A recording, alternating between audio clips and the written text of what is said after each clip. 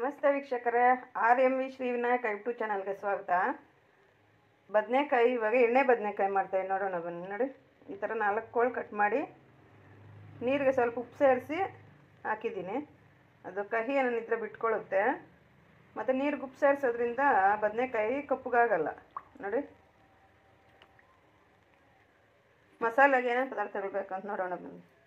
ಧನಿಯಾ ಪುಡಿ ಗರಂ ಮಸಾಲ ಅರ್ಧ ಚಮಚ, ಚಿಕನ್ ಮಸಾಲ ಅರ್ಧ ಚಮಚ, ಈರುಳ್ಳಿ ಹಸಿ ಶುಂಠಿ ಚಕ್ಕೆ ಲವಂಗ, ಗಸಗಸೆ, ಬೆಳ್ಳುಳ್ಳಿ, ಒಂದು ಐದಾರು ಹಸಿಮೆಣ್ಸಿನ್ಕಾಯಿ, ಪುದೀನ ಸೊಪ್ಪು, ಕೊತ್ತಂಬರಿ ಸೊಪ್ಪು. ಕಾಯಿ ತುರಿ, ಸ್ವಲ್ಪ ಜಾಸ್ತಿ ಬೇಕು, ಮಸಾಲೆ ಜಾಸ್ತಿ ಬೇಕಲ್ಲ, ಅದಕ್ಕೆ ಕಾಯಿ ತುರಿ. ಎಲ್ಲ ಹಾಕಿ ಇವಾಗ ಹುರಿತೀನಿ. ಸ್ಟವ್ ಮೇಲೆ ಬಾಣಲಿ ಇಟ್ಟಿದ್ದೀನಿ. ನಾವೆಲ್ಲ ಪದಾರ್ಥಗಳು ಸೇರಿಸ್ತಾ ಇದ್ದೀನಿ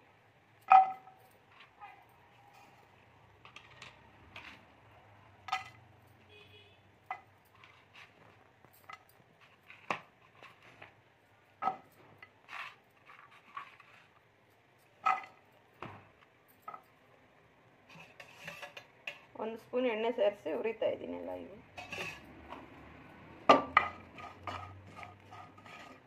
ಸ್ವಲ್ಪ ಕೆಂಪಗಾಗೋವರೆಗೂ ಇಟ್ಕೋಬೇಕು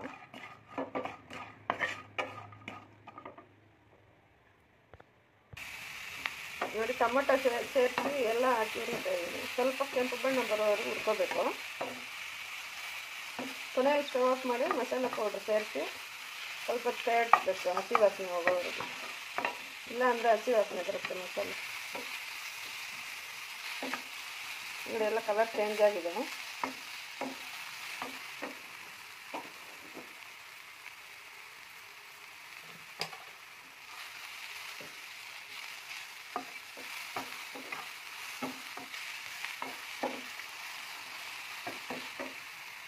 ನೋಡಿ, ಎಲ್ಲ ಪದಾರ್ಥಗಳು ಹುರಿದಿರೋದಾಗಿದೆ. ಮಸಾಲೆ ಪುಡಿ ಸೇರಿಸಿದ್ದೀನಿ. ಸ್ವಲ್ಪ ತಣ್ಣಗಾದ್ಮೇಲೆ ರುಬ್ಕೊಂಬರ್ತೀನಿ ಇದು. ನೋಡಿ, ಮಸಾಲೆ ರುಬ್ಬಿಟ್ಟು ಗಟ್ಟಿ ಮಸಾಲೆ ಬದನೆಕಾಯಿ ತುಂಬಿದ್ದೀನಿ ಈ ಥರ ಎಲ್ಲದಕ್ಕೂ.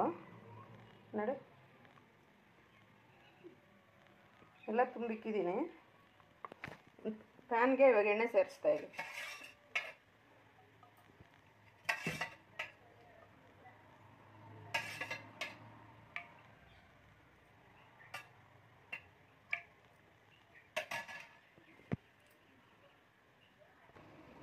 ಎಣ್ಣೆ ಬಿಸಿಯಾಗಿದೆ ಇವಾಗ ಸಾಸಿವೆ ಸೇರಿಸ್ತಾ ಇದ್ದೀನಿ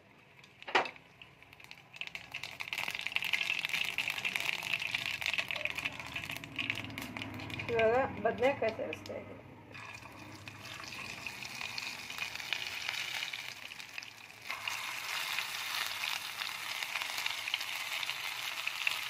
ಈ ಥರ ಬದನೆಕಾಯಿ ಇಟ್ಟರೆ ಎಣ್ಣೆ ಚೆನ್ನಾಗಿ ಇಟ್ಕೊಳ್ಳುತ್ತೆ ಮಸಾಲೆ.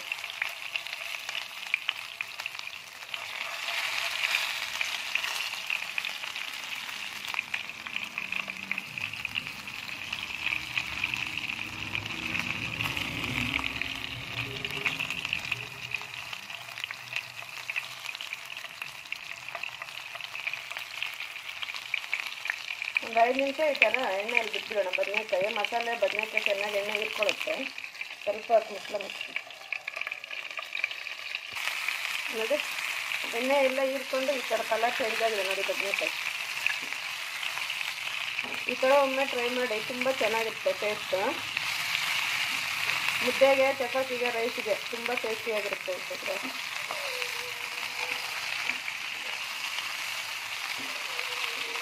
ಮಸಾಲೆ ತುಂಬಿರ್ತೀವಲ್ಲ?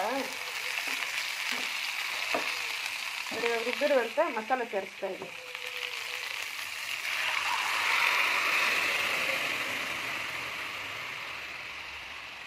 ರುಚಿಗೆ ತಕ್ಕಷ್ಟು ಉಪ್ಪು ಸೇರಿಸ್ತೀನಿ. ನೀರು ನಮ್ಗೆ ಎಷ್ಟು ಬೇಕೋ ಸೇರಿಸ್ಕೋಬೋದು.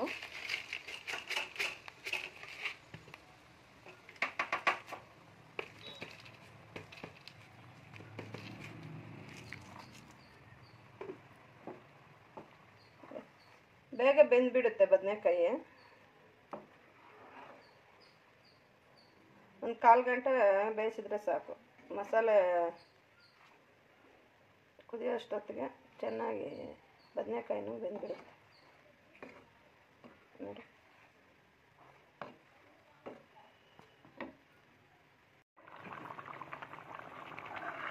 ಎಣ್ಣೆ ಬದನೆಕಾಯಿ ಸಾಂಬಾರು ರೆಡಿ ಆಗಿದೆ. ತುಂಬ ಟೇಸ್ಟಿಯಾಗೂ ಇರುತ್ತೆ ವೀಕ್ಷಕರೇ. ಈ ವಿಡಿಯೋ ಇಷ್ಟವಾದರೆ ಲೈಕ್ ಮಾಡಿ, ಶೇರ್ ಮಾಡಿ, ಸಬ್ಸ್ಕ್ರೈಬ್ ಮಾಡಿ. Thank you.